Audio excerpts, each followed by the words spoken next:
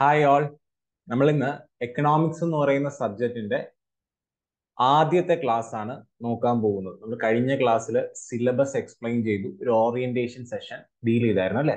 അപ്പൊ എന്റെ പേര് നന്ദു എസ് ഗോപൻ. ഞാനാണ് നിങ്ങൾക്ക് എക്കണോമിക്സ് എന്ന് പറയുന്ന സബ്ജക്ട് ഡീൽ ചെയ്യുക. For K S Kerala administrative service എക്സാമിന് വേണ്ടിയിട്ടുള്ള എക്കണോമിക്സ് എന്ന് പറയുന്ന സബ്ജക്ട് ഡീൽ ചെയ്യുന്ന ഞാനായിരിക്കും. എക്കണോമിക്സിൽ നമ്മൾ ആദ്യമേ പറഞ്ഞ പോലെ തന്നെ എന്തുണ്ട്? ഇന്ത്യൻ എക്കണോമി ഉണ്ട്. അതുപോലെ തന്നെ കേരള എക്കണോമി ഉണ്ട്. ഇത് രണ്ടും ഞാൻ തന്നെയായിരിക്കും ഡീൽ ചെയ്യാൻ പോകുന്നത്.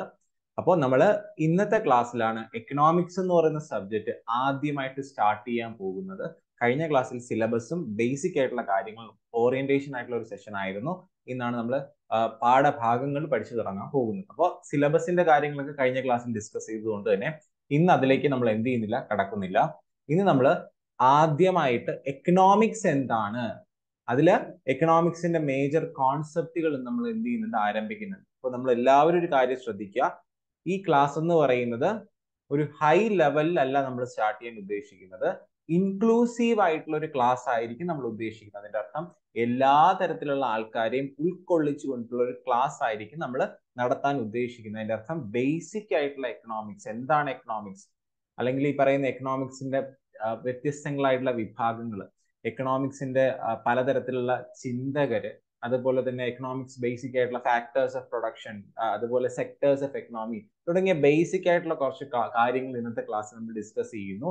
അതുകൊണ്ടൊരു ഒരു തുടക്കക്കാർക്കും ഈ ഒരു എക്കണോമിക്സ് ക്ലാസ് ഗുണം ചെയ്യണം എന്നുള്ള ലക്ഷ്യത്തോടു കൂടിയാണ് നമ്മൾ ഇന്ന് സ്റ്റാർട്ട് ചെയ്യുന്നത്. പതുക്കെ പതുക്കെ നമ്മൾ എന്ത് ചെയ്യുന്നുണ്ട് കോർ കോൺസെപ്റ്റുകളിലോട്ട് നമ്മൾ കടക്കുന്നു. അതോടുകൂടി എക്കണോമിക്സ് എന്ന് പറയുന്ന മെയിൻ തീമിലോട്ട് നമ്മൾ പോകുന്നതായിരിക്കും. ഇൻക്ലൂസീവ് ആണ്. അതുകൊണ്ട് എല്ലാവരും സഹകരിക്കുക. കാരണം നമ്മൾ ബേസിക് എലമെന്റ് എന്നായിരിക്കും എന്ത് ചെയ്യുക? ക്ലാസ് സ്റ്റാർട്ട് ചെയ്യുക. അപ്പൊ ആദ്യം നമ്മൾ നോക്കുന്നത് എക്കണോമിക്സ് എന്ന് പറയുന്ന സബ്ജക്റ്റിനെ പറ്റിയാണ്. എക്കണോമിക്സ് നമ്മൾ പലപ്പോഴും മലയാളത്തിൽ പറയുന്ന ഒരു വാക്കാണ് സാമ്പത്തിക ശാസ്ത്രം അല്ലെ? എക്കണോമിക്സ് സാമ്പത്തിക ശാസ്ത്രം സമ്പത്തിനെ പറ്റിയുള്ള പഠനം. അപ്പൊ നമുക്കൊരു ചോദ്യം വരുന്നുണ്ട്. എന്താണ് സമ്പത്ത്? What you mean by wealth അല്ലെങ്കിൽ എക്കണോമിക്സിന്റെ അകത്ത് നോക്കുന്ന സമയത്ത് എന്താണ് വെൽത്ത് എന്ന് പറയും? ആക്ച്വലി വെൽത്ത് എന്ന് പറഞ്ഞാൽ നമ്മുടെ നീഡ്സ് അല്ലെങ്കിൽ വോൺസ് നമുക്കറിയാം നമുക്ക് ഇഷ്ടംപോലെ ആവശ്യങ്ങളുണ്ട് ഉണ്ടല്ലേ നമ്മുടെ നീഡ്സ് അല്ലെങ്കിൽ വോൺസ് എന്ന് പറയുന്ന ഈ നീഡ്സിനെയും വോൺസിനെയും സാറ്റിസ്ഫൈ ചെയ്യുന്ന എന്തിനേയും നമുക്ക് എന്തെന്ന് പറയാം? റിസോഴ്സസ് എന്ന് പറയാം വിഭവങ്ങൾ. അതിനെയാണ് നമ്മൾ വെൽത്ത് എന്ന് പറയുന്നത്. അപ്പൊ റിസോഴ്സസ് എന്ന് വെച്ചാൽ നമ്മുടെ നീഡ്സ് അല്ലെങ്കിൽ വാണ്ട്സ് സാറ്റിസ്ഫൈ ചെയ്യുന്ന വസ്തുക്കളാണ് നമ്മൾ റിസോഴ്സസ് എന്ന് പറയുന്നത്. ഉദാഹരണം വായു ആയിക്കോട്ടെ. ജലം ആയിക്കോട്ടെ ഭക്ഷണം ആയിക്കോട്ടെ വസ്ത്രം ആയിക്കോട്ടെ അത് മാൻമെയ്ഡ് ആകാം അതുപോലെ നാച്ചുറൽ റിസോഴ്സസ് ആകാം. അപ്പൊ റിസോഴ്സസ് എന്ന് വെച്ചാൽ നമ്മുടെ നീഡ്സ് അല്ലെങ്കിൽ വാണ്ട്സ് സാറ്റിസ്ഫൈ ചെയ്യുന്ന തിങ്സ് ആണ് റിസോഴ്സ് എന്ന് പറയുന്നത്. പക്ഷെ ഒരു പ്രശ്നം എന്താണ്? റിസോഴ്സസ് എന്ന് പറയുന്നത് സ്കേഴ്സ് ആണ്. സ്കേഴ്സ് അല്ലെങ്കിൽ നമുക്കത് ലിമിറ്റഡ് ആണെന്ന് പറയാം അല്ലെ? പക്ഷെ നമ്മുടെ നീഡ്സ് അല്ലെങ്കിൽ വാണ്ട്സ് ആണെങ്കിലോ നീഡ്സ് അല്ലെങ്കിൽ വാണ്ട്സ് എന്ന് പറയുന്നത് അൺലിമിറ്റഡ് ആണ്. സോ നമ്മുടെ റിസോഴ്സസ് നമുക്ക് അവൈലബിൾ ആയിട്ടുള്ള റിസോഴ്സസ് എന്ന് പറയുന്നത് ലിമിറ്റഡ് ആണ്. പക്ഷെ നമുക്ക് ആ റിസോഴ്സസ് കൊണ്ടുള്ള ഉപയോഗമാണെങ്കിലോ ഉപയോഗം എന്ന് പറയുന്ന അൺലിമിറ്റഡ് ആണ്. അപ്പൊ അതാണ് അവിടുത്തെ ഒരു പ്രധാന പ്രശ്നം പ്രശ്നം എന്ന് പറയുന്നത്. നമ്മുടെ ഡിമാൻഡും അതിനനുസരിച്ചുള്ള സപ്ലൈയും അവിടെ തുല്യമാകുന്നില്ല. Resources are and our needs and wants are unlimited അതാണ് അവിടുത്തെ പ്രധാനപ്പെട്ട പ്രശ്നം എന്ന് പറയുന്നത്. അപ്പോഴാണ് എക്കണോമിക്സ് എന്ന് പറയുന്ന ഒരു സബ്ജക്റ്റ് അവിടെ ഉണ്ടാകുന്നത്. എക്കണോമിക്സ് എന്താണ് ഡീൽ ചെയ്യുന്നത്? ഈ പറയുന്ന ലിമിറ്റഡ് ആയിട്ടുള്ള റിസോഴ്സസ് എങ്ങനെ നമ്മുടെ അൺലിമിറ്റഡ് വോൺസ് അല്ലെങ്കിൽ നീഡ്സ് സാറ്റിസ്ഫൈ ചെയ്യാം എന്നതിനെ പറ്റിയുള്ള പഠനമാണ് എക്കണോമിക്സ് എന്ന് പറയുന്നത്. ഇവിടെ നോക്കിയേ economics is the study of how to allocate the scarce resources to satisfy the demand of the population അപ്പൊ നമുക്കറിയാം നമ്മൾ ജനങ്ങൾക്ക് ഒരു സാധനം കിട്ടിക്കഴിഞ്ഞാൽ നമ്മൾ സാറ്റിസ്ഫൈ ആകത്തില്ല അല്ലെ? ഒരു സാധനം കൊണ്ട് ഒന്നിലധികം ഉപയോഗങ്ങളുണ്ട്. വെള്ളം വെള്ളം എന്ന് പറയുന്ന സാധനം കുടിക്കാൻ ഉപയോഗിക്കാം കുടിക്കാൻ ഉപയോഗിക്കാം വാഹനം കഴുകാൻ ഉപയോഗിക്കാം വസ്ത്രങ്ങൾ അലക്കാൻ ഉപയോഗിക്കാം. വെള്ളം കൊണ്ട് ഒരുപാട് കൂളന്റ് ആയിട്ട് ഉപയോഗിക്കാം. പലതരത്തിലുള്ള ഉപയോഗം വെള്ളം കൊണ്ടുണ്ട് അല്ലെ? പക്ഷെ നമ്മൾ വെള്ളം സ്കേഴ്സ് ആണ്. വളരെ എന്താ ശുദ്ധജലം എന്ന് പറയുന്നത് വളരെ കുറവാണ്. അപ്പൊ ശുദ്ധജലം നമ്മൾ പ്രയോറിറ്റൈസ് ചെയ്ത് യൂസ് ചെയ്യുന്നു. കുടിക്കാനുള്ളത് തന്നെയായിരിക്കും പ്രാധാന്യം കൊടുക്കുക. അപ്പൊ ഇതാണ് എന്തെന്ന് പറയുന്ന റിസോഴ്സസ് എന്ന് പറയുന്ന സ്കേഴ്സും നമ്മുടെ നീഡ്സ് എന്ന് പറയുന്ന അൺലിമിറ്റഡ് അപ്പൊ ഈ അൺലിമിറ്റഡ് നീഡ്സിനെ സാറ്റിസ്ഫൈ ചെയ്യാൻ എങ്ങനെ ലിമിറ്റഡ് ആയിട്ടുള്ള റിസോഴ്സസ് യൂസ് ചെയ്യാം? അതിനെ പറ്റിയുള്ള പഠിക്കുന്ന ഒരു സബ്ജക്റ്റ് ആണ് ഒരു ഡിസിപ്ലിൻ ആണ് ഒരു പഠന ശാഖയാണ് എക്കണോമിക്സ് എന്ന് പറയുന്നത്. അപ്പൊ economics is study of how to allocate the scarce resources to satisfy the demand of the population അപ്പൊ അതാണ് നമ്മൾ ബേസിക് ആയിട്ട് അറിഞ്ഞിരിക്കാനുള്ള കാര്യം. എക്കണോമിക്സ് എന്ന് പറയുന്ന സ്റ്റഡി ഓഫ് വെൽത്ത് ഇവിടെ വെൽത്ത് എന്ന് ഉദ്ദേശിക്കുന്ന റിസോഴ്സസ് എന്നുള്ള സെൻസിൽ നമ്മൾ എടുക്കുക. ഇനി വേറൊരു കാര്യം. ഈ എക്കണോമിക്സ് എന്ന് പറയുന്ന വാക്ക് ഉണ്ടായത് ആക്ച്വലി ഒരു ഗ്രീക്ക് വേർഡ് രണ്ട് ഗ്രീക്ക് വേർഡുകൾ ചേർന്നിട്ടാണ് കേട്ടോ ഉണ്ടായത്. നമ്മൾ എക്കണോമിക്സ് എക്കണോമിക്സ് എന്ന് പറയുമ്പോൾ അതിന്റെ ഒറിജിൻ ഒന്ന് നോക്കുക. ഒയ്ക്കോണോമസ് അല്ലെങ്കിൽ ഒയ്ക്കോസ് എന്ന് പറയുന്ന ഹൗസ് ഹോൾഡും നോമോസ് എന്ന് പറയുന്ന മാനേജ്മെന്റും ഹൗസ് ഹോൾഡ് മാനേജ്മെന്റ് വീട്ടുകാര്യങ്ങൾ നോക്കി നടത്തുക എന്നുള്ള ഒരു കോൺസെപ്റ്റ് ആണ് പിന്നീട് ഇന്ന് ലോക സമ്പദ് വ്യവസ്ഥ ലോകത്തെ തന്നെ നിയന്ത്രിക്കുന്ന ഒരു സബ്ജക്റ്റ് ആയിട്ട് മാറിയത് ഹൗസ് ഹോൾഡ് മാനേജ്മെന്റ് അതായത് ഹൗസ് ഹോൾഡ് ഒയ്ക്കോസ് മാനേജ്മെന്റ് നോമോസ് എന്ന് പറയുന്ന ഒരു വീട്ടുകാര്യങ്ങൾ നോക്കി നടത്തുക എന്നുള്ള സെൻസിൽ നിന്ന് ഒരു സബ്ജക്ട് എന്ത് ചെയ്തിട്ടുണ്ട്? ഇന്ന് ലോകത്തെ തന്നെ നിയന്ത്രിക്കുന്ന ഒരു സബ്ജക്റ്റ് ആയിട്ട് മാറി. അതാണ് എക്കണോമിക്സിന്റെ പ്രത്യേകത എന്ന് പറയുന്ന എക്കണോമിക്സ് ഇപ്പൊ എക്കണോമിക്സ് എന്ന് പറയുന്ന സബ്ജക്ട് എന്താണെന്നുള്ള കാര്യം കിട്ടി. ആ ഒരു വാക്ക് ഒറിജിനേറ്റ് ചെയ്ത് എവിടെ നിന്നാണെന്ന് നമുക്ക് കിട്ടി. ഇനി എക്കണോമിക്സ് എന്ന് പറയുമ്പോൾ നിങ്ങൾക്ക് എല്ലാവർക്കും അറിയാവുന്ന കാര്യമാണ്. ഫാദർ ഓഫ് എക്കണോമിക്സ് എന്നറിയപ്പെടുന്ന ആരാ? നമുക്ക് എല്ലാവർക്കും അറിയാവുന്നല്ലേ നിങ്ങൾക്ക് എല്ലാവരും നമ്മൾ എല്ലാവരും പഠിച്ചിട്ടുള്ളതാണ് കേട്ടിട്ടുള്ളതാണ് ആദം സ്മിത്ത് അല്ലെ? Adam Smith is known as father of economics എക്കണോമിക്സിന്റെ പിതാവ് സാമ്പത്തിക ശാസ്ത്രത്തിന്റെ പിതാവ് എന്നൊക്കെ അറിയപ്പെടുന്ന എക്കണോമിക്സ് അപ്പൊ നിങ്ങൾ നോക്കുമ്പോൾ ഇതൊക്കെ ബേസിക് ആയിട്ടുള്ള കാര്യങ്ങളല്ലേ? ഈ ബേസിക് ആയിട്ടുള്ള കാര്യങ്ങൾ കുറച്ച് നമ്മൾ നോക്കിയിരുന്നാൽ മാത്രമേ നമ്മളെല്ലാം നമുക്കറിയാലോ. ഒരു വീട് വയ്ക്കണമെങ്കിലും എന്ത് നിർമ്മിക്കണമെങ്കിലും ഒരു ബേസ്മെന്റ് ആവശ്യമാണ് അല്ലെ? അപ്പൊ ബേസ് മസ്റ്റ് ആണ്. ബേസ് ഇല്ലാതെ നമുക്ക് മുകളിലോട്ട് ബിൽഡ് ചെയ്യാൻ പറ്റത്തില്ല. അപ്പൊ ബേസിക് ആയിട്ടുള്ള വ്യക്തികളുടെ കാര്യങ്ങൾ അവർ അവതരിപ്പിച്ചിട്ടുള്ള കുറച്ച് തിയറീസ് ഒക്കെ നമുക്ക് നോക്കിപ്പോ. ആദ്യം ആദം സ്മിത്തിനെ പറ്റി പറയുകയാണെങ്കിൽ Adam Smith is known as father of economics അല്ലെങ്കിൽ ഫാദർ ഓഫ് മോഡേൺ എക്കണോമിക്സ് എന്ന് കാര്യം വിളിക്കുന്നുണ്ട് ആദം സ്മിത്തിനെ വിളിക്കുന്നുണ്ട്. എന്തുകൊണ്ട്? Why Adam Smith is known as father of economics father of modern economics എന്നൊരു ചോദ്യം ചോദിച്ചു കഴിഞ്ഞാൽ പണ്ടെന്ന് പറയുന്നത് നമ്മുടെ എക്കണോമിക്സ് ഒരു പ്രത്യേക പഠന ശാഖ ആയിരുന്നില്ല. ഓക്കെ അപ്പൊ നിങ്ങൾ ശ്രദ്ധിക്കുക. നമുക്ക് നോക്കിക്കഴിഞ്ഞാൽ എക്കണോമിക്സ് എന്ന് പറയുന്ന പണ്ട് സോഷ്യൽ സ്റ്റഡീസിന്റെ അതായത് economics is actually social studies ഒരു economics is a social science എന്ന് നമ്മൾ പറയാറുണ്ട്.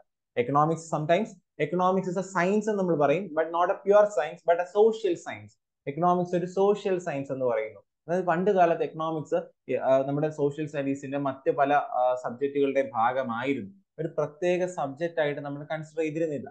പിന്നീട് നമ്മുടെ ആദം സ്മിത്തിന്റെ വർക്കുകളുണ്ട് അതിലൊരു പ്രധാനപ്പെട്ട വർക്കാണ് വെൽത്ത് ഓഫ് നേഷൻസ് എന്ന് പോപ്പുലർലി അറിയപ്പെടുന്ന an inquiry in the nature and causes of wealth of nation അപ്പൊ ആദം സ്മിത്തിന്റെ പുസ്തകത്തിന്റെ പേരാണ് an inquiry in the nature and causes of wealth of nation Adam Smith seventeen seventy സിക്സിൽ publish ചെയ്ത ഒരു പുസ്തകം. ഈ ഒരു പുസ്തകവും അദ്ദേഹത്തിന്റെ മറ്റു പല വർക്കുകൾക്കും ശേഷമാണ് ഒരു പ്രത്യേക സബ്ജക്റ്റ് ആയിട്ട് സോഷ്യൽ സ്റ്റഡീസിനെ മറ്റു പല സബ്ജക്റ്റുകളുടെയും ഭാഗമായിരുന്ന എക്കണോമിക്സിനെ ഒരു പ്രത്യേക സബ്ജക്റ്റ് ആയിട്ട് മാറും മാറ്റുന്നത് ഈ ഒരു ആദം സ്മിത്തിന്റെ സമയത്താണ്. എന്നിരുന്നാൽ പോലും അന്ന് ആ സമയത്ത് എക്കണോമിക്സ് നല്ലായിരുന്നു പേര്. പൊളിറ്റിക്കൽ എക്കണോമി എന്നായിരുന്നു പേര്. ശ്രദ്ധിക്കേട്ടോ. പൊളിറ്റിക്കൽ എക്കണോമി അപ്പൊ എന്താ പറയുന്നത്? എക്കണോമിക്സ് എന്ന് പറയുന്ന ഒരു സബ്ജക്ട് രൂപാന്തരപ്പെടുന്നതിൽ രൂപം കൊള്ളുന്നതിൽ ആദം സ്മിത്തിന്റെ വർക്കുകൾ പങ്കുവച്ചിട്ടുണ്ട്. എന്നിരുന്നാൽ പോലും ആദം സ്മിത്തിന്റെ സമയത്തും പൊളിറ്റിക്കൽ എക്കണോമി എന്ന് പറയുന്ന ഒരു സബ്ജക്റ്റ് ആണ് ഫോം ചെയ്യുന്നത്. പിന്നീട് ലേറ്റർ ആൽഫ്രഡ് മാർഷൽ ആണ് എക്കണോമിക്സ് എന്ന് പറയുന്ന ഒരു പേര് അതിന് കൊടുക്കുന്നത്. അത്രത്തോളം ചരിത്രം നമ്മൾ അറിയണ്ട. എന്നിരുന്നാലും നിങ്ങൾ ജസ്റ്റ് എക്കണോമിക്സിനെ പരിചയപ്പെടണമല്ലോ. ഫസ്റ്റ് ക്ലാസ് എന്ന രീതിയിൽ നിങ്ങൾക്ക് എക്കണോമിക്സിനെ പറ്റി പരിചയപ്പെടണം. എന്താണ് ഈ സബ്ജക്ട് ഇത് എങ്ങനെ ഉണ്ടായി എന്നുള്ള ഒരു പരിചയപ്പെടലാണ് നമ്മൾ ഇതുവഴി കുറച്ച് സ്ലൈഡുകളിലൂടെ ഉദ്ദേശിക്കുന്നത്. അപ്പോൾ വെൽത്ത് ഓഫ് നേഷൻ അപ്പൊ ഇത് വേണമെങ്കിൽ നിങ്ങൾ നോക്കിയിരിക്കുക. ആദം സ്മിത്തിന്റെ പുസ്തകമാണ് wealth of nation Adam Smith is known as father of economy economics and Adam Smith എഴുതിയ ഒരു പുസ്തകമാണ് വെൽത്ത് ഓഫ് നേഷൻ അതിന്റെ മുഴുവൻ പേരാണ് enquiry in the enquiry in the nature and cost of wealth of nation എന്ന് പറയുന്നത് ഇനി അടുത്ത് നമുക്ക് അദ്ദേഹത്തിന്റെ അടുത്തൊരു തിയറി ഉണ്ട്. Laissez faire theory laissez faire theory എന്നൊക്കെ പറയുന്നുണ്ട്. അതിനു മുന്നേ നമുക്കൊരു കോൺസെപ്റ്റ് പരിചയപ്പെടാം. കോൺസെപ്റ്റ് അല്ല ഒരു എക്കണോമിക്സിനകത്തുള്ള രണ്ട് പ്രധാനപ്പെട്ട ശക്തികളെ നമുക്ക് പരിചയപ്പെടാം. അവരെ നമ്മൾക്ക് മാർക്കറ്റ് ഫോഴ്സസ് എന്ന് വിളിക്കാറുണ്ട്. അവരെ നമ്മൾ മാർക്കറ്റ് ഫോഴ്സസ് എന്ന് വിളിക്കാറുണ്ട്. അതായത് മാർക്കറ്റിലെ രണ്ട് പ്രധാനപ്പെട്ട ശക്തികൾ മാർക്കറ്റ് ഫോഴ്സസ് ഏതൊക്കെയാണ് മാർക്കറ്റിലെ മാർക്കറ്റ് ഇൻ ദ സെൻസ് ഇവിടെ ഉദ്ദേശിക്കുന്നത്? എക്കണോമി സമ്പദ് വ്യവസ്ഥ. ഒരു എക്കണോമിയിലെ രണ്ട് പ്രധാനപ്പെട്ട ഫോഴ്സസ് അതായത് എക്കണോമി എന്ന് പറയുന്നത് മാർക്കറ്റ് മാർക്കറ്റ് എന്ന് പറയുന്ന എക്കണോമി നമുക്ക് ഇങ്ങനെ യൂസ് ചെയ്യാം. അവിടെ എല്ലാ കാര്യങ്ങളും നിയന്ത്രിക്കുന്നത് എല്ലാ കാര്യങ്ങളെയും മുന്നിൽ നയിക്കുന്ന രണ്ട് പ്രധാനപ്പെട്ട ശക്തികൾ നിങ്ങൾ തന്നെ ഒന്ന് ആലോചിച്ച് നോക്കി ഏതൊക്കെയായിരിക്കും രണ്ട് പ്രധാനപ്പെട്ട ശക്തികൾ? ഒരു മാർക്കറ്റ് മുന്നിലോട്ട് പോകണം. നിങ്ങൾക്ക് ഒരു കാര്യം അറിയാം. മാർക്കറ്റ് എന്ന് പറയുന്ന ആരൊക്കെ ചേരുന്നതാ? മാർക്കറ്റ് എന്ന് പറയുന്നത് ഒരു ബയർ ഉണ്ടാകും. അതുപോലെ തന്നെ എന്തുണ്ടാകും? ഒരു സെല്ലർ ഉണ്ടാകും. അല്ലെ? ആണല്ലോ? മാർക്കറ്റിൽ സാധനങ്ങൾ സെയിൽ ചെയ്യാൻ സെൽ ചെയ്യാൻ വേണ്ടി വരുന്ന ഒരാളും ഉണ്ടാകും. അതുപോലെ തന്നെ വാങ്ങാൻ പർച്ചേസ് ചെയ്യാൻ വേണ്ടി വരുന്ന ഒരാളും ഉണ്ടാകും. ആണല്ലോ? അപ്പൊ ഇവർ രണ്ടുപേർക്കും തമ്മിലൊരു ഇടനിലക്കാരനായിട്ട് മാർക്കറ്റ് പ്രവർത്തിക്കുന്നുണ്ട്. അതിന്റെ അർത്ഥം വാങ്ങാനും ആളുണ്ട് വിൽക്കാനും ആളുണ്ട്. അപ്പൊ മാർക്കറ്റിൽ പ്രവർത്തിക്കുന്നത് വാങ്ങാൻ വരുന്ന ആളും വിൽക്കാൻ വരുന്ന ആളും കൂടെ മീറ്റ് ചെയ്യുന്ന സമയത്താണ് അല്ലെ? അപ്പൊ മാർക്കറ്റ് ഫോഴ്സസ് എന്ന് പറയുന്ന ഇവരുമായിട്ട് ബന്ധപ്പെട്ട രണ്ട് കാര്യങ്ങളാണ് ഒന്ന് ഡിമാൻഡ് മറ്റൊന്ന് സപ്ലൈ അപ്പൊ ഇതിനെ രണ്ടിനെയാണ് നമ്മൾ എന്തെന്ന് വിളിക്കുക? മാർക്കറ്റ് ഫോഴ്സസ് എന്ന് പറയുന്നത്. അപ്പോൾ മാർക്കറ്റിലെ രണ്ട് പ്രധാനപ്പെട്ട ശക്തികൾ ഏതൊക്കെയാണെന്ന് നിങ്ങൾ ചോദിച്ചു കഴിഞ്ഞാൽ ഡിമാൻഡും സപ്ലൈ ആക്ച്വലി നമ്മുടെ ലോകത്തുള്ള എല്ലാ പ്രശ്നങ്ങൾക്കും എല്ലാ പ്രതിസന്ധികൾക്കും കാരണം എന്ന് പറയുന്നത് ഡിമാൻഡിന്റെയും സപ്ലൈയുടെയും ഇടയിൽ ഉണ്ടാകുന്ന ഒരു ഗ്യാപ്പാണ് മനസ്സിലായോ? അപ്പൊ മാർക്കറ്റിനെ മുന്നിൽ നയിക്കുന്നത് ഒരു സമ്പദ് വ്യവസ്ഥയെ മുന്നിൽ നയിക്കുന്ന രണ്ട് ഫോഴ്സസ് ആണ് ഡിമാൻഡും സപ്ലൈ എന്ന് പറയുന്നത്. ഓക്കെ അപ്പൊ നിങ്ങൾ നോക്കിയേ ഡിമാൻഡ് സപ്ലൈക്ക് തുല്യമാകുന്ന ഒരു അവസ്ഥ ഈ അവസ്ഥേനെയാണ് നമ്മൾ എന്തെന്ന് വിളിക്കുക?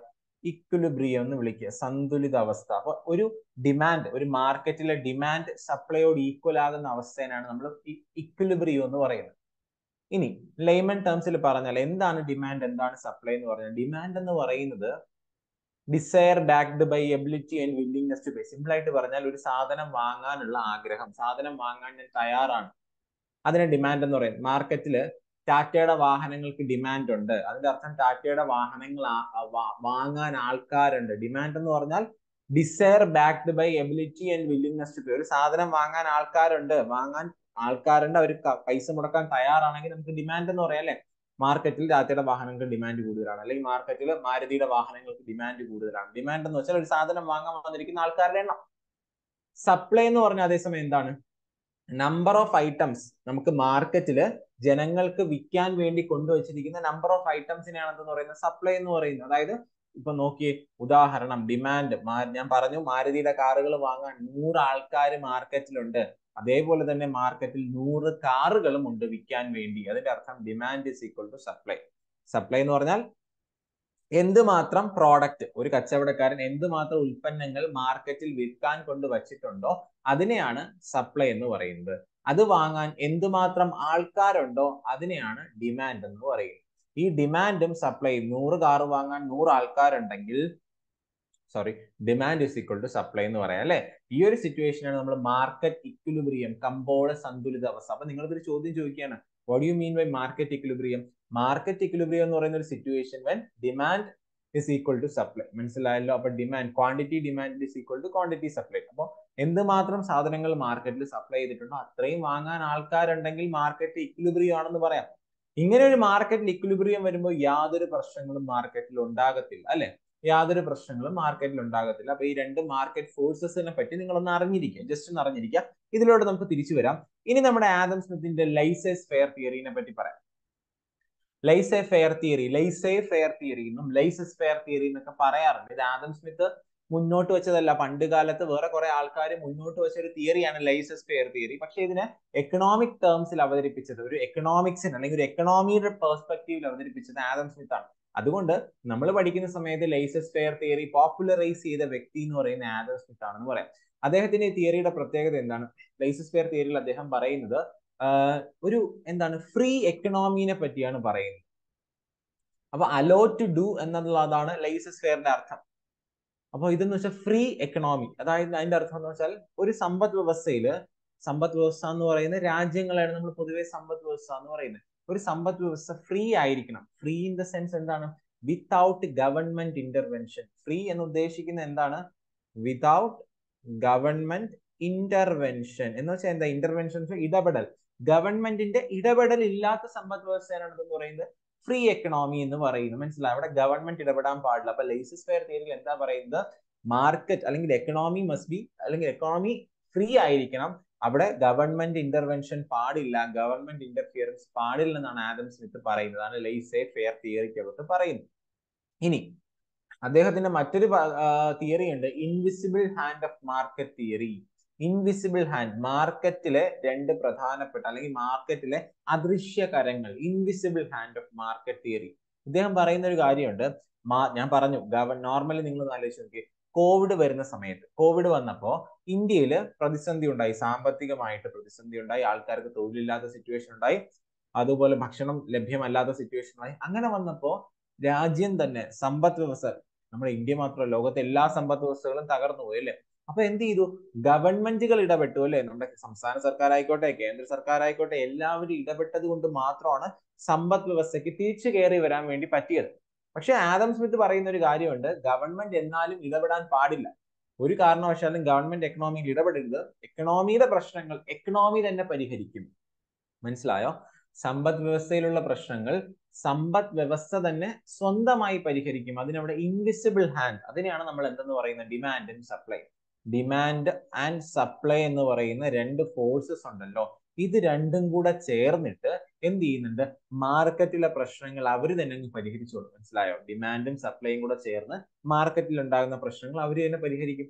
അതിന് പ്രത്യേകിച്ച് ഗവൺമെന്റ് ഇടപെടലോ ഒന്നും ആവശ്യമില്ല. അതാണ് invisible hand of market theory എന്ന് ആദം സ്മിത്ത് മുന്നോട്ട് വയ്ക്കും അദ്ദേഹത്തിന്റെ തിയറി എന്ന് പറയുന്നത്. അപ്പൊ നോക്കിയേ ഉദാഹരണമായിട്ട് ഞാൻ പറഞ്ഞു കഴിഞ്ഞാൽ ഇവിടെ നമ്മളിപ്പോ ഒരു എക്സാമ്പിൾ പറഞ്ഞു. എന്താണ്? Demand is equal to supply നമ്മൾ പറഞ്ഞല്ലോ. അതിന്റെ അർത്ഥം എന്ന് വെച്ചാൽ ഉദാഹരണം നൂറ് സാധനങ്ങൾ വിൽക്കാൻ കൊണ്ടുവച്ചിട്ടുണ്ട്. ഇത് വാങ്ങാൻ നൂറ് ആൾക്കാരുണ്ടെങ്കിൽ demand is equal to supply ഇക്വിലിബ്രിയോ അല്ലെ? ഇങ്ങനത്തെ ഒരു സിറ്റുവേഷൻ ആണ് മാർക്കറ്റിലെങ്കിൽ അവിടെ വേറൊരു പ്രശ്നമൊന്നുമില്ല. മാർക്കറ്റിൽ ഉണ്ടാകുന്ന മാർക്കറ്റിൽ വേറെ പ്രതിസന്ധികളൊന്നുമില്ല.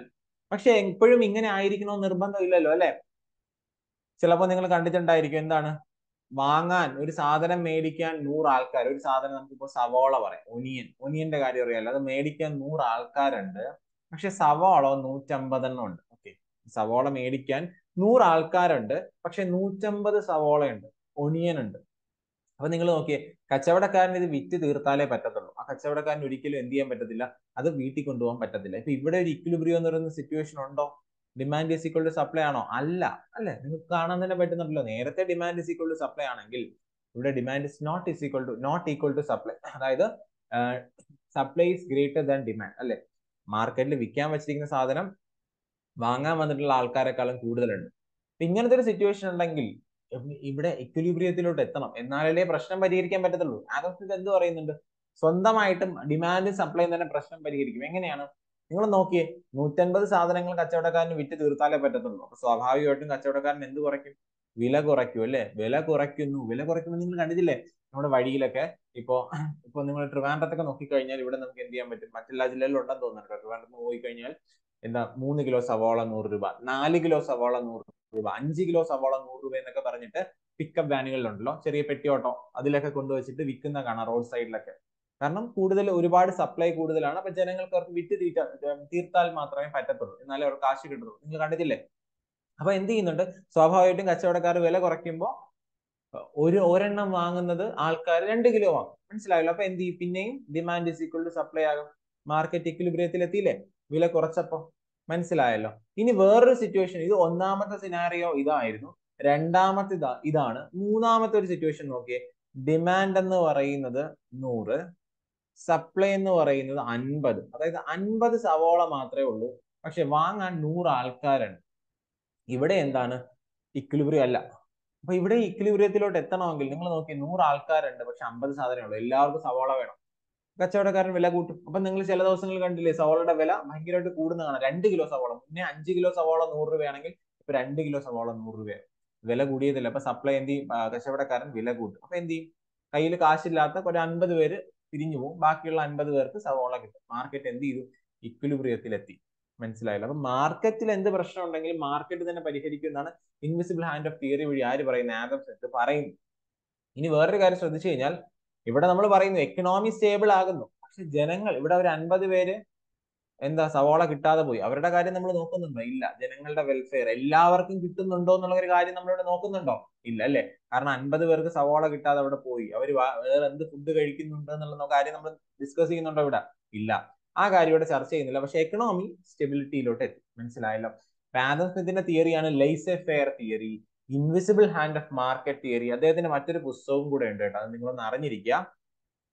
Theory of moral sentiments theory of moral sentiments എന്ന് പറയുന്നത് ആദം സ്മിത്തിന്റെ അപ്പൊ Adam Smith is known as father of economics ഇനി ആദം സ്മിത്ത് എക്കണോമിക്സിന് ഒരു ഡെഫിനിഷൻ കൊടുത്തിട്ടുണ്ട്. Economics is study of wealth അല്ലെങ്കിൽ ആദം സ്മിത്ത് കൊടുത്ത ഡെഫിനിഷനെ നമ്മൾ വെൽത്ത് ഡെഫിനിഷൻ എന്ന് പറയാറുണ്ട്. അപ്പൊ ആദം സ്മിത്ത് എക്കണോമിക്സിന് കൊടുത്ത ഒരു ഡെഫിനിഷൻ ഉണ്ട്. അപ്പൊ ആദം സ്മിത്ത് എക്കണോമിക്സിന് കൊടുത്ത ഡെഫിനിഷനെ നമ്മൾ വിളിക്കുന്ന പേരാണ് വെൽത്ത് ഡെഫിനിഷൻ സമ്പത്ത് നിർവചനം എന്ന് പറയാറുണ്ട് ഓക്കെ അപ്പൊ ആരാണ് എക്കണോമിക്സിന് വെൽത്ത് ഡെഫിനിഷൻ കൊടുത്തത്? അത് ആദം സ്മിത്ത് ആണ് എന്നുള്ള കാര്യം ഒന്ന് എന്ത് ചെയ്യുക? ഓർത്തിരിക്കുക.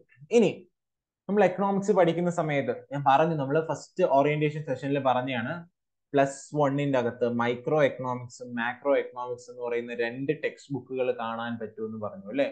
അതായത് എക്കണോമിക്സിന്റെ രണ്ട് പഠന ശാഖയുണ്ട്.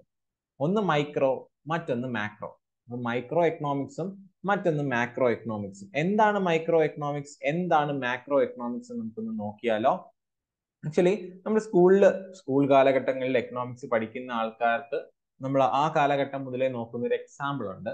അതായത് ഒരു ഗ്രൂപ്പ് ഓഫ് സ്റ്റുഡൻസ് എന്ത് ചെയ്യുന്നുണ്ട്? ഒരു ഗ്രൂപ്പ് ഓഫ് സ്റ്റുഡൻസ് എന്ത് ചെയ്യുന്നുണ്ട്? പഠനത്തിന്റെ ഭാഗമായിട്ട് ഫോറസ്റ്റിലോട്ട് വരെയാണ്. കാടിനകത്തോട്ട് വന്ന് കാടിനെ പറ്റി പഠിക്കാൻ വേണ്ടി വരുന്ന കുറച്ച് കുട്ടികളാണ് മനസ്സിലായോ? അതായത് പ്രകൃതി ഭംഗിയൊക്കെ ആസ്വദിച്ച് കാടിനെ പറ്റി പഠിച്ച് അല്ല എന്താ പ്രകൃതി സ്നേഹികളായിട്ടുള്ള ഒരു കുറച്ച് കുട്ടികളുടെ ഗ്രൂപ്പ് കാട്ടിലോട്ട് വരികയാണെന്ന് നിങ്ങൾ വിചാരിക്കുക. ഇതാണ് ആ ഗ്രൂപ്പ് കേട്ടോ. ഈ ഗ്രൂപ്പ് ഇവിടെ വന്നിട്ട് രണ്ടായിട്ട് വഴിപിരിയാണ്. ഓക്കെ ഈ ഗ്രൂപ്പ് എന്ത് ചെയ്യുന്നു? ഇവിടെ വന്നിട്ട് രണ്ടായിട്ട് വഴി പിരിയും ഒന്നാമത്തെ ഗ്രൂപ്പ് ഒരു മഴ മരത്തിന്റെ താഴെ പോകും. ഓക്കെ ഇത് മരമാണെന്ന് നിങ്ങൾ വിചാരിക്കുക. ഓക്കെ ഇത് മരമാണെന്ന് തോന്നുന്നുണ്ടല്ലോ? തോന്നലുണ്ടെങ്കിൽ ഇതാണ് ഒരു മരം. തോന്നില്ലെങ്കിലും ഇതാണ് ഒരു മരം. ഈ മരത്തിന്റെ താഴെ ഒരു ഗ്രൂപ്പ് വന്ന് നിന്നു. ഈ ഗ്രൂപ്പിനെ നമുക്ക് എ എന്ന് വിളിക്കാം. ഇനി വേറൊരു ഗ്രൂപ്പ് എന്ത് ചെയ്തു? കാടിനെ പറ്റി മൊത്തത്തിൽ പഠിക്കാൻ പോയി. ഇതൊരു ഫോറസ്റ്റ് ആണ്. ഓക്കെ അപ്പൊ കാടിനെ പറ്റി മൊത്തം പഠിക്കാൻ പോയി. രണ്ടാമത്തെ ഗ്രൂപ്പ് അവർക്ക് നമുക്ക് ബി എന്ന പേര് കൊടുക്കാം. അപ്പോൾ ഒരു കുറച്ച് കുട്ടികൾ കാട്ടിലോട്ട് വന്നിട്ട് രണ്ട് ഗ്രൂപ്പായിട്ട് തിരിഞ്ഞു. എ എന്ന് പറയുന്ന ഗ്രൂപ്പും ബി എന്ന് പറയുന്ന ഗ്രൂപ്പും എ എന്ന് പറയുന്ന ഗ്രൂപ്പ് ഒരു മരത്തിന്റെ താഴെ ചെന്നിട്ട് അതിനെപ്പറ്റി എന്ത് ചെയ്യുന്നുണ്ട്? പഠിക്കുന്നുണ്ട്. വെട്ടിവിറ്റ നല്ല കാശ് കിട്ടും. അങ്ങനെ അങ്ങനത്തെ പഠനങ്ങളല്ല നടത്തുന്നത്. എന്താണ്? മരത്തിന് ഏതാണ്ട് എത്ര പ്രായം വരും? അതുപോലെ തന്നെ മരത്തിൽ എന്തുമാത്രം ജീവജാലങ്ങൾ താമസിക്കുന്നുണ്ട്? ഇനി എത്ര കാലം വരെ മരം ഇവിടെ ഇങ്ങനെ നിലനിൽക്കാൻ സാധ്യതയുണ്ട്? മീൻസ് ഇത് ഏത് തരത്തിലുള്ള മരമാണ്? അതുപോലെ തന്നെ പല തരത്തിലുള്ള മരത്തിനെ പറ്റി കംപ്ലീറ്റ് ആയിട്ടുള്ള പഠനമാണ് ഒന്നാമത്തെ ഗ്രൂപ്പ് നടത്തുന്നത് അപ്പൊ ഒരു മരം എന്ന് പറയുന്ന ഒറ്റ യൂണിറ്റ് അല്ലെ? ഒരു ഇൻഡിവിജ്വൽ യൂണിറ്റിനെ പറ്റിയാണ് ഇവർ പഠിച്ചത്. ഒറ്റ സിംഗിൾ യൂണിറ്റ് മരം എന്ന് പറയുന്ന ഒറ്റ യൂണിറ്റിനെ പറ്റി പഠിച്ചു. അതേസമയം ബി എന്ന് പറയുന്ന ഗ്രൂപ്പ് എന്താ ചെയ്തത്? അവർ പോയിട്ട് ഒരു മരത്തിനെ പറ്റി പഠിക്കാനല്ല അവർക്ക് സമയം. അവർ പറഞ്ഞു നമുക്ക് ഈ സമയം കൊണ്ട് മാക്സിമം മരങ്ങളും ഇതിനകത്തുള്ള മുഴുവൻ ജീവജാലങ്ങളെയും പറ്റി പഠിക്കാമെന്ന് രണ്ടാമത്തെ ഗ്രൂപ്പ് തീരുമാനിച്ചു. അവരെന്ത് ചെയ്തു? ഒറ്റ ഇൻഡിവിജ്വൽ യൂണിറ്റിനെ പറ്റി അല്ല പഠിക്കുന്നത്. പകരം അവരൊരു അഗ്രഗേറ്റിനെ പറ്റി. അഗ്രഗേറ്റ് എന്ന് പറയുന്ന അവിടെയുള്ള മുഴുവൻ യൂണിറ്റുകളെയും പറ്റി എന്ത് ചെയ്യുന്നു? അവരൊരു ഓട്ട പ്രദർശനം നടത്തി പഠിക്കാമെന്നൊരു ചിന്ത അവർക്കിടയിൽ ഉണ്ടായി അപ്പോൾ ഒന്നാമത്തെ ഗ്രൂപ്പ് നടത്തിയത് ഒരു പഠനമാണ്. രണ്ടാമത്തെ ഗ്രൂപ്പ് നടത്തിയത് ഒരു പഠനമാണ്. പക്ഷെ രണ്ടുപേരുടെയും പഠനത്തിന് അതിന്റെതായിട്ടുള്ള വ്യത്യാസമുണ്ട് അല്ലെ? ഒന്നാമത്തെ എ എന്ന് പറയുന്ന ഗ്രൂപ്പ് ഒരു മരത്തിന്റെ താഴെ നിന്നിട്ട് ഇങ്ങനെ എന്ത് ചെയ്യുന്നുണ്ട്? ആലോചിക്കുന്നുണ്ട്. ഈ മരം എത്ര കാലം കഴിയുമ്പോൾ താഴെ വീഴും? ഇത് വിറ്റ് കഴിഞ്ഞാൽ എന്ത് കാശ് കിട്ടും തുടങ്ങിയ കാര്യങ്ങളാണ് ഒന്നാമത്തെ ഗ്രൂപ്പ് പഠിക്കുന്നതെങ്കിൽ രണ്ടാമത്തെ ഗ്രൂപ്പ് ഈ മരം ഉൾപ്പെടുന്ന എല്ലാ മരങ്ങളും എല്ലാ ജീവജാലങ്ങളും അതുപോലെ മരങ്ങളെല്ലാം പരസ്പരം എങ്ങനെ ബന്ധപ്പെട്ട് കിടക്കുന്നു തുടങ്ങിയ കാര്യങ്ങളെല്ലാം തന്നെ രണ്ടാമത്തെ ഗ്രൂപ്പ് പഠിക്കുന്നുണ്ട് മനസ്സിലായല്ലോ? ഒന്നാമത്തെ ഗ്രൂപ്പ് പഠിക്കുന്ന പഠനത്തിന് നമുക്കൊരു മൈക്രോ അനാലിസിസ് എന്ന് വിളിക്കാം. ഒന്നാമത്തെ ഗ്രൂപ്പിന്റെ പഠനത്തിന് മൈക്രോ അനാലിസിസ്. നിങ്ങൾ മൈക്രോസ്കോപ്പ് യൂസ് ചെയ്ത് പഠിക്കുമ്പോൾ ഒരു ചെറിയ സെല്ലിനെ അല്ലെങ്കിൽ ഒരു ചെറിയ സാധനത്തിനെ വലുതായിട്ട് നമ്മൾ പഠിക്കൂലേ ഡീറ്റെയിൽഡ് ആയിട്ടുള്ള അല്ലെ? ഞാനൊക്കെ ടെൻത്ത് കഴിഞ്ഞതിന് ശേഷം plus one plus two commerce പഠിച്ചിട്ടുള്ള ആൾക്കാരാണ്. അപ്പൊ നമുക്ക് ടെൻത്ത് വരെ മാത്രമേ മൈക്രോസ്കോപ്പ് യൂസ് ചെയ്യാനുള്ള അനുമതി ലഭിച്ചിട്ടുള്ളൂ. അതിനുള്ള അവകാ മീൻസ് അവസരം കിട്ടിയിട്ടുള്ളൂ. നിങ്ങൾ സയൻസ് ഒക്കെ പഠിച്ച കുട്ടികളാണെങ്കിൽ പ്ലസ് വൺ ആയിക്കോട്ടെ അല്ലെങ്കിൽ ഡിഗ്രി തലത്തിലായിക്കോട്ടെ മറ്റെല്ലാ തലത്തിലും മൈക്രോസ്കോപ്പ് യൂസ് ചെയ്ത് പഠിച്ചിട്ടുള്ളൂ ഞാൻ പത്താം ക്ലാസ്സിൽ പഠിച്ച ഓർമ്മ മാത്രമേ എനിക്കുള്ളൂ. പക്ഷെ അന്ന് നമുക്ക് ഓർമ്മയുണ്ട് എന്താ ടെൻത്തിലൊക്കെ പഠിക്കുന്ന സമയത്ത് ഒരു എന്താ സെല്ലിനെ നമ്മൾ എന്ത് ചെയ്യുന്നുണ്ട് എൻലാർജ് ചെയ്തിട്ട് പഠിക്കുന്ന കാര്യം. അപ്പൊ നമ്മൾ മൈക്രോസ്കോപ്പ് വെച്ച് കഴിഞ്ഞാൽ ഭയങ്കര ഡീറ്റെയിൽഡ് ആയിട്ട് പഠിക്കാൻ പറ്റും അല്ലെ? അപ്പൊ മൈക്രോ അനാലിസിന്റെ പ്രത്യേകത എന്താ? ഒരു യൂണിറ്റിനെ പറ്റിയാ പഠിക്കുന്നത് പക്ഷെ ഭയങ്കര ഡീറ്റെയിൽഡ് ആയിട്ട് അതിനെ പറ്റിയുള്ള മുഴുവൻ കാര്യങ്ങൾ നമുക്ക് കിട്ടും. അതാണ് മൈക്രോ അനാലിസിസ് അതേസമയം ബി നടത്തിയ അനാലിസിസ് നമുക്ക് എന്തെന്ന് വിളിക്കാം? മാക്രോ അനാലിസിസ് മാക്രോ അനാലിസിസ് എന്ന് വെച്ചാൽ ഏകദേശം ഒരു ധാരണ മാത്രമേ കിട്ടത്തുള്ളൂ. അതായത് ഏകദേശം എല്ലാ മരങ്ങളെയും പറ്റി ഒരു ധാരണ കിട്ടും. ഒരു ഓവർവ്യൂ നമുക്ക് കിട്ടും അല്ലെ?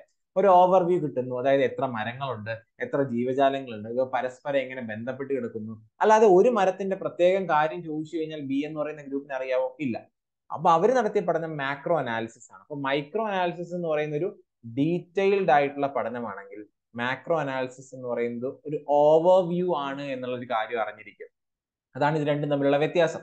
ഇതുപോലെ തന്നെയാണ് എക്കണോമിക്സിനകത്ത് രണ്ട് പഠനശാഖകളുണ്ട്. മൈക്രോ എക്കണോമിക്സും മാക്രോ എക്കണോമിക്സും മൈക്രോ എക്കണോമിക്സ് എന്ന് പറയുന്നത് ഈ എ ഗ്രൂപ്പ് നടത്തിയ പോലുള്ള ഇൻഡിവിജ്വൽ യൂണിറ്റുകളെ പറ്റിയുള്ള പഠനമാണ് മൈക്രോ അനാലിസിസും മൈക്രോ എക്കണോമിക്സും അതേസമയം മാക്രോ എക്കണോമിക്സ് എന്ന് പറഞ്ഞാൽ എന്താ? മാക്രോ എക്കണോമിക്സ് എന്ന് പറയുന്നത് അഗ്രഗേറ്റ് യൂണിറ്റുകളെ പറ്റിയുള്ള പഠനമാണ്.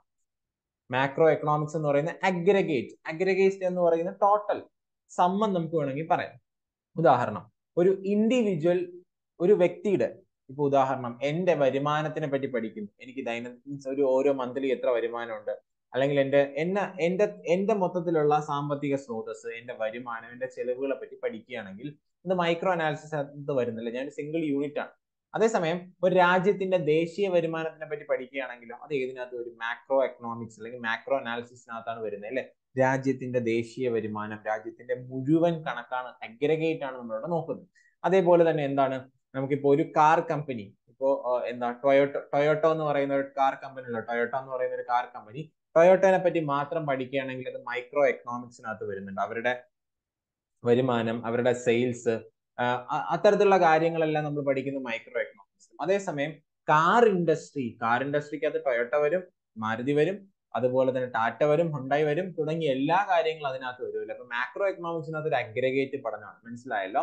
മൈക്രോ എക്കണോമിക്സ് എന്ന് പറയുന്ന ഇൻഡിവിജ്വൽ യൂണിറ്റുകളും മാക്രോ എക്കണോമിക്സ് ഒരു അഗ്രഗേറ്റ് യൂണിറ്റുകളെ പറ്റിയുള്ള പഠനമാണ്. മനസ്സിലായല്ലോ? ഇനി വേറൊരു പ്രത്യേകത നോക്കിക്കഴിഞ്ഞാൽ മൈക്രോ എക്കണോമിക്സിനെ നമ്മൾ പ്രൈസ് തിയറി എന്ന് പറയാറുണ്ട്.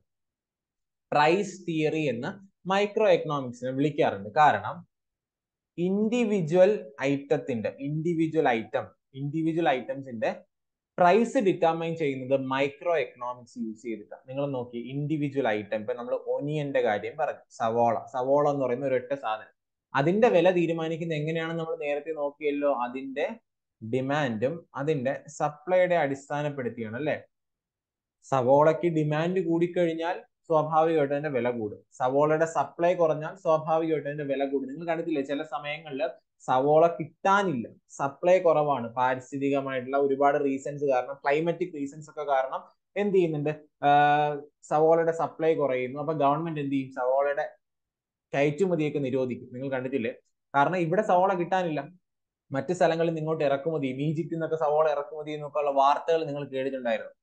അപ്പോ സവോളയുടെ വില തീരുമാനിക്കുന്നത് അതിന്റെ ഡിമാൻഡും സപ്ലൈയും തന്നെയാണ് അല്ലെ? ഡിമാൻഡ് കൂടുന്നു കഴിഞ്ഞാൽ വില കൂടും ഡിമാൻഡ് കുറഞ്ഞു കഴിഞ്ഞാൽ വില കുറയും. ആണല്ലോ? അപ്പൊ ഒരു ഇൻഡിവിജ്വൽ ഐറ്റത്തിന്റെ വില തീരുമാനിക്കുന്നതിന്റെ ഡിമാൻഡും സപ്ലൈയുടെയും അടിസ്ഥാനപ്പെടുത്തി അല്ലാതെ വേറെ തക്കാളിയുടെ ഇപ്പൊ നിങ്ങൾ നോക്കി ടൊമാറ്റോ.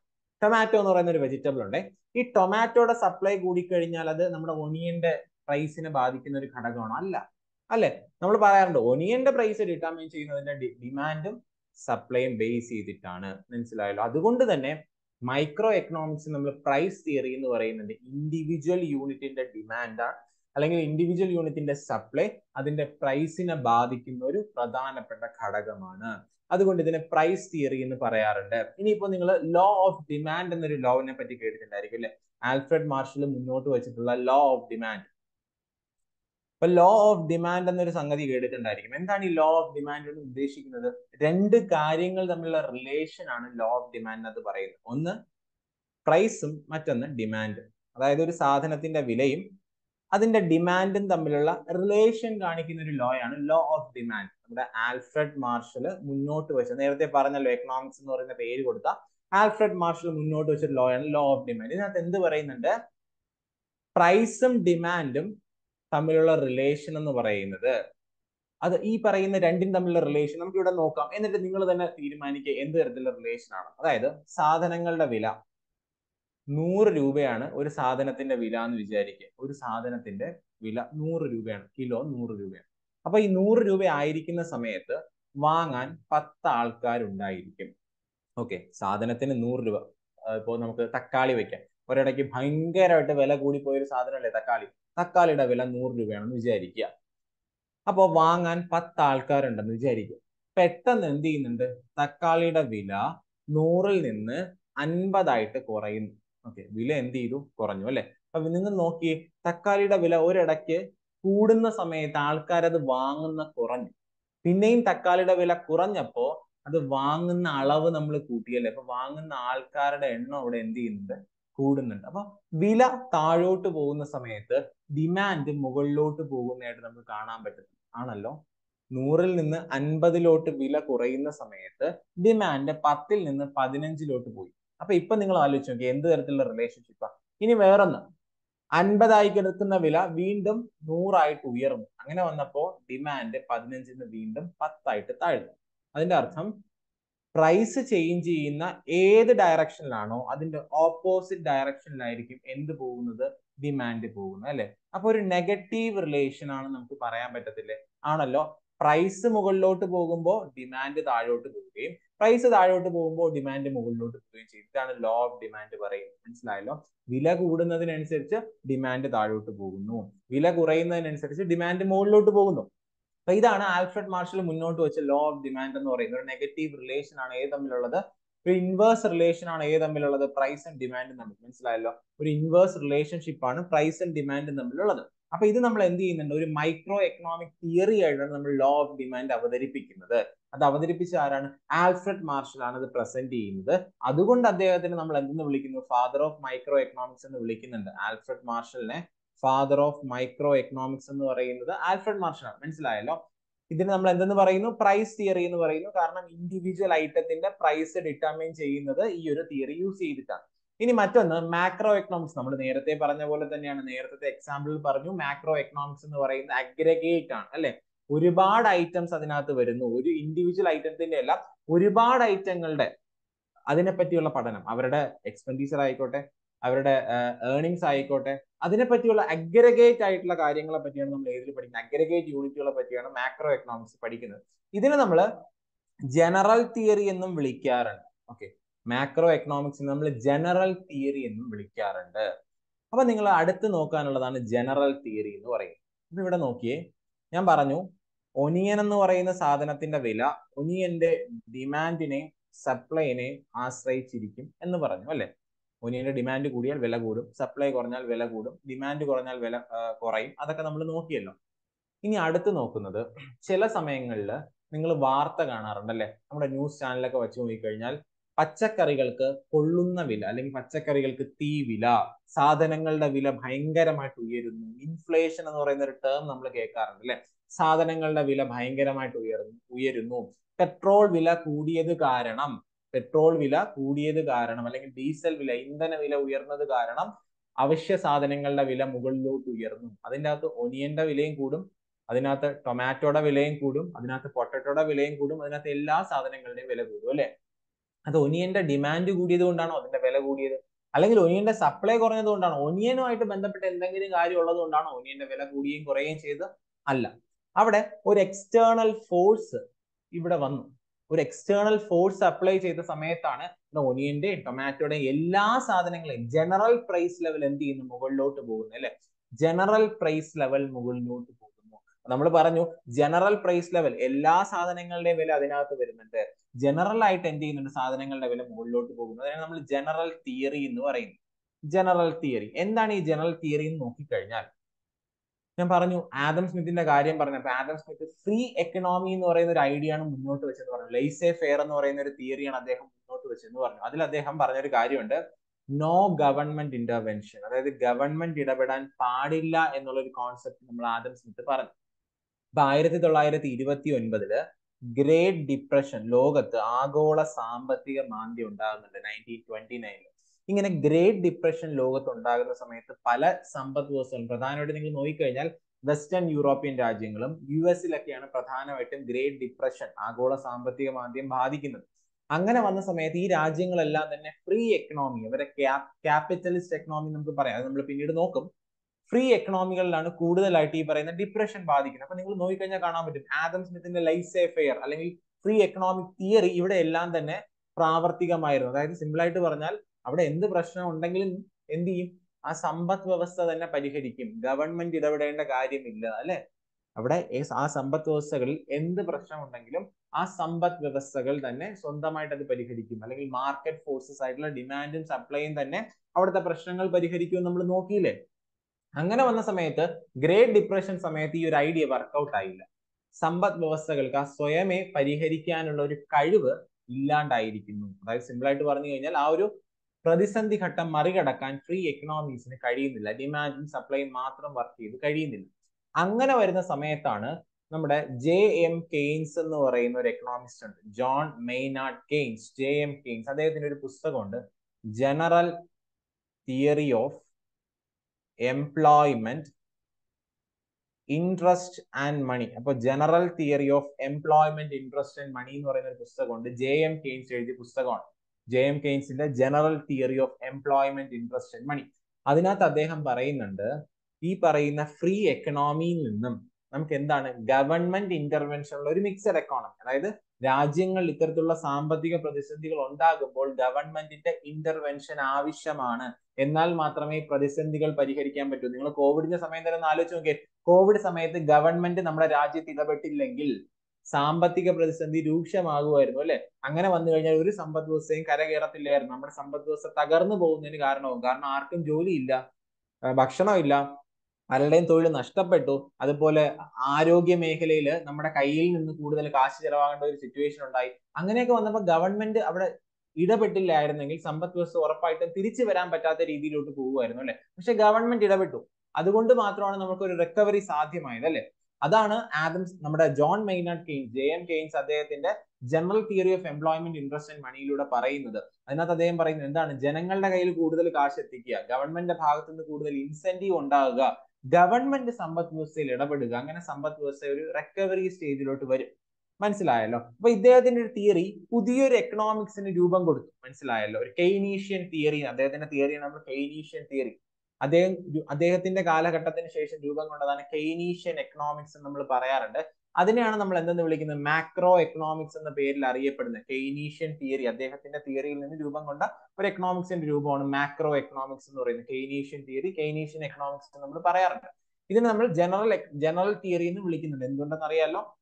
അഗ്രഗേറ്റ് ആണ്. എല്ലാത്തിനെയും പറ്റി പൊതുവായിട്ട് നമ്മൾ പഠിക്കുന്നതാണ് മാക്രോ എക്കണോമിക്സ് അതുകൊണ്ട് അതിനെ ജനറൽ തിയറി എന്ന് വിളിക്കുന്നുണ്ട്. സ്വാഭാവികമായിട്ട് ഇതിന്റെ ഫാദർ ആരായിരിക്കും?